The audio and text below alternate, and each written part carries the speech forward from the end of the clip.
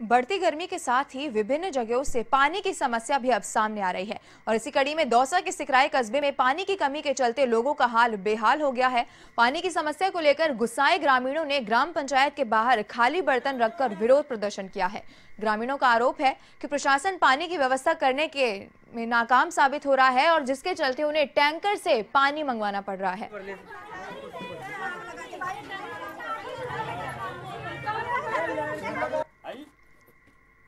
आ जाओ आप भी आ जाओ। ओले आ जाओ ओले साइड आ जाओ। आ जाओ आ जाओ आ जाओ फ़ोटो